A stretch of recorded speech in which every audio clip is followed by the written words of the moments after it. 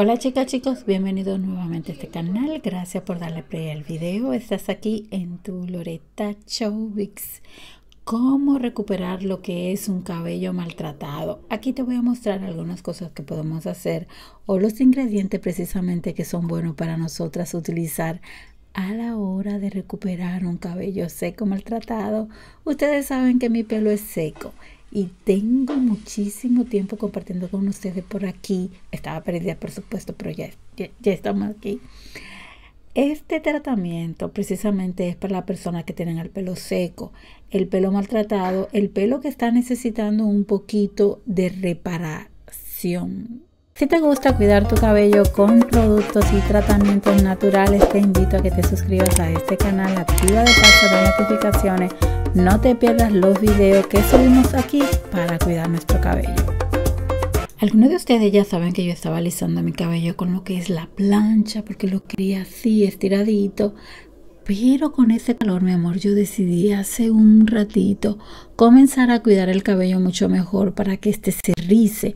Entonces comencé a preparar este tratamiento con los ingredientes precisamente que ayudan también a darle nuevamente vida, cuerpo, estabilidad, a darle salud a un pelo débil.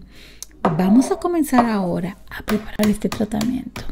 Como ya están viendo en el video, estaré utilizando lo que es un huevo completico porque hidrata y ayuda a mejorar la elasticidad del pelo. El vinagre de manzana por su parte le da hidratación y también ayuda a darle suavidad al cabello y cuando uno utiliza lo que es la plancha, el blower, el calor en sí, el vinagre de manzana no puede faltar en nuestros productos. También estaré utilizando en este tratamiento lo que es medio aguacate maduro porque hidrata y promueve la regeneración capilar y estoy tratando de recuperar este cabello seco. Si pensabas que yo, Loreta Show, iba a dejar lo que es el aceite de coco. No, mi amor. Porque el aceite de coco es uno de los aceites que mejor le va a mi cabello. Realmente el, el, de jojoba también es espectacular y le gusta, el de almendra también. Pero el de coco lo consigo más fácil, es más barato y le gusta mi pelo. Lo utilizo en casi todos los tratamientos y le va bien. Una cucharada de aceite de coco este está gordito, una cucharada gordita de aceite de coco. Y es súper fabuloso porque el mejor aceite, yo diría. Díganme que no. Hmm, no quieran lío conmigo. Para complementar este tratamiento casero también voy a estar utilizando un tratamiento de proteínas hidrolizadas porque no la podemos conseguir en los productos que tenemos en la casa. Este tipo de tratamiento refuerza los tratamientos caseros fundamentales si queremos buscar reparar el pelo, darle nueva fuerza, darle elasticidad. Con un poquitito vamos a preparar y un tratamiento con fuerza. Estos son los ingredientes que contiene este tratamiento. Ahora bien, lo importante y por eso que me gusta agregar un tratamiento ya comprado es que ayuda a que los ingredientes se mezclen entre sí.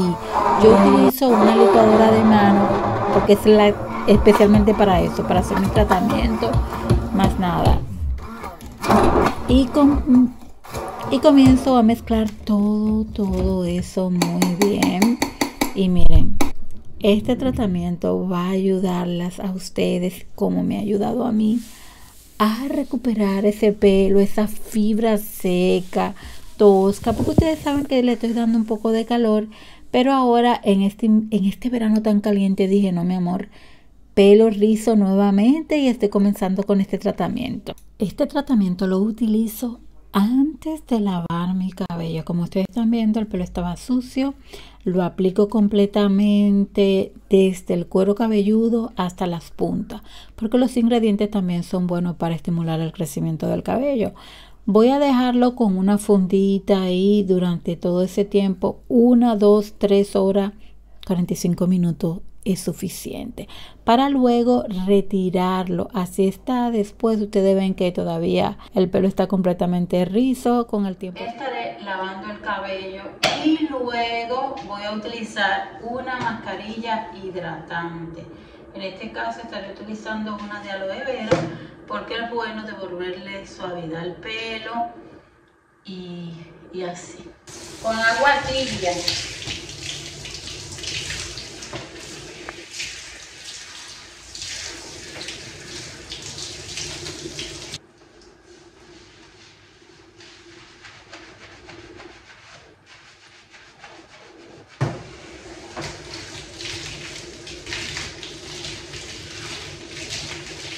Y así está este cabello. Ustedes saben que tenía ya semanas, meses pasándome la plancha. Y por el calor regresé nuevamente a rizar este pelo rizado crespo. ¿Qué pasa? Que ustedes saben que el rizo se va estirando y en esta parte, ustedes, en esta parte no, en este video ustedes pueden ver las consecuencias de utilizar plancha, blower y ese tipo de cosas. Hacerte el pelo, pero voy a lograr nuevamente que esos rizos se ricen más. ¿Por qué? Porque a pesar de todo, si pasamos la plancha, el blower, el cabello, ah, y utilizamos productos adecuados para protegerlo, como son los protectores de calor, entonces el cabello no se daña tanto. Por eso aquí ustedes están viendo el pelo está, la punta no está completamente lisa, pero no está acostumbrado a, estar rizado el pelo sino estirado. En otros videos ustedes van a ver qué tal ha quedado o está mi cabello. Así que no te lo pierdas y nos vamos a ver en un próximo video.